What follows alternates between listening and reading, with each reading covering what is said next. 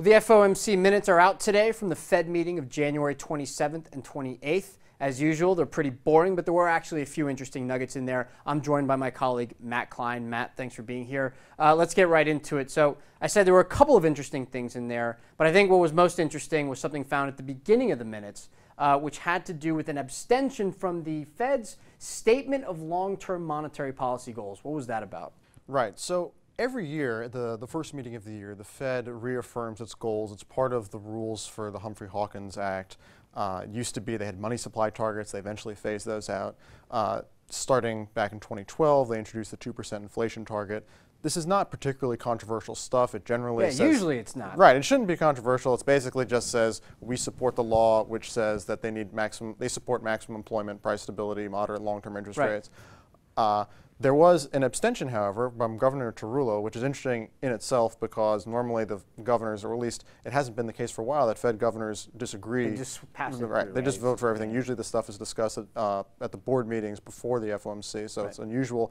Uh, the rationale that he provided in the minutes was that he felt that there was an artificial sense of consensus uh, relative to the actual disagreements about the principles uh, for the monetary policy strategy. So it's hard to know exactly what that means. There's certainly a lot of Yeah, I didn't disagreements follow any of that really. on the committee. You're right. I mean, uh, it's not like you can get any of them on record to say they don't support price stability, they don't support Right. uh, full employment, whatever full employment means. Um, Right. So it's unclear what that means. Artificial sense of consensus. Okay, so Right. um, There was more disagreement over the principles than was let on in the document. okay, fair enough. Um, second point in the staff's review of financial stability, right? Um, they they added something that was new as well. What was that? That's right. So the in part of their staff presentation, they have an overview now of risks to financial stability, and that includes things that we know had been risks in the past, such as bank leverage, maturity transformation, borrowing by the non-financial sector. Those things are all supposedly okay. Uh, they noted a few areas of concern. One is uh, the level of corp- what's going on in the corporate bond market, which is something that people have been remarking a long time. Sure. Arguably, partly a consequence and even a goal of Fed's monetary stimulus to make it easy for companies to borrow and invest. Uh, they noted a couple other interesting things though that are new. One is uh, commercial real estate lending conditions. They thought might be starting to get a little Bad uh, underwriting, starting to. Maybe. I mean, they weren't specific. Exact. Basically, that was an area for concern.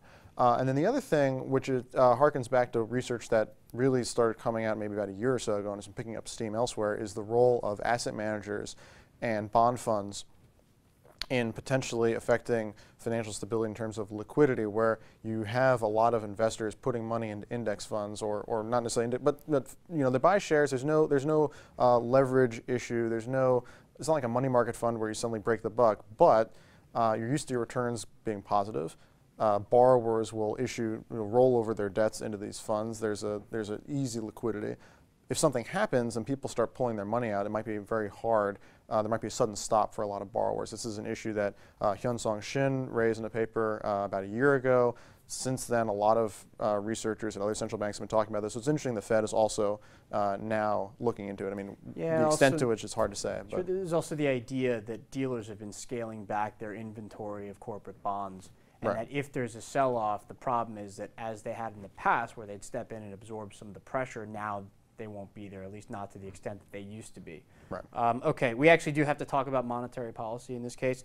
There was one line in there that said many participants anticipated that they might want to keep interest rates at the lower bound uh, for a longer period of time than was previously thought. We don't know what many means, right? But this is this is I think what a lot of people are attributing the market reaction right after the minutes to. What do you think about that?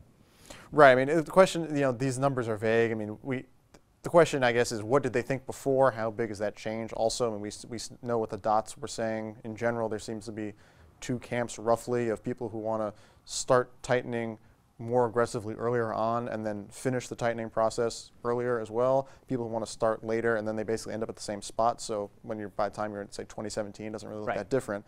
You know, how much that matters is an interesting question. Uh, you know, what factors are they looking at? I mean, is it a question of the dollar or weaker global demand? I mean, who knows? Um, I There's mean, also the issue, by the way, that the Fed's anticipated path in its forecasts for interest rates looks a lot higher than the path that the market has been anticipating right now. And there's the worry that the market's not going to be ready for it if, in fact, the path of rate, right, rate hikes looks like what the Fed has said it will be. Um, who knows?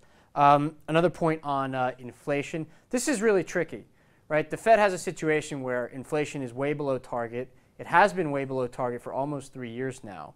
Some of that, maybe the bulk of it now, uh, is attributable to what's happened with oil in the last year or so. But that's actually unclear. We don't actually know. The Fed is trying to take comfort in the fact uh, that we've had these very good labor market reports, that maybe the underlying pressures for growth are going to drive inflation back up towards 2%. They've been wrong about that in the recent past, and they're hoping they're going to be right about it this time. But this is tricky, and it seemed like in the minutes, you couldn't really tell what the Fed was thinking here. I mean, they've seemed dead set on having a mid 2015 first rate hike. But in terms of following the language on inflation, I couldn't really figure out where they were going with that. Yeah, I think part of the issue is we say like they, and I don't think there really is a unified they.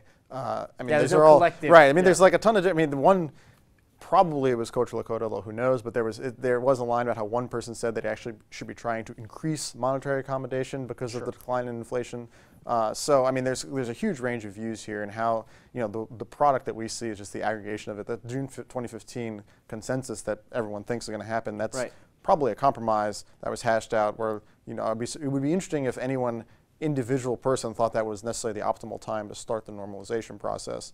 Uh, we don't know, but I mean, I guess you know, six years or so from now, uh, we'll be getting the transcripts of this meeting, and and then we can get a sense of really how that conversation was going.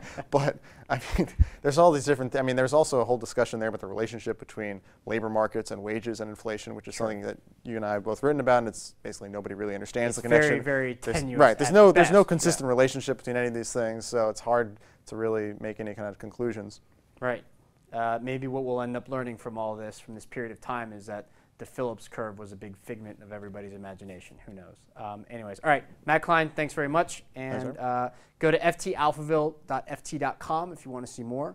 And uh, we'll see you next time.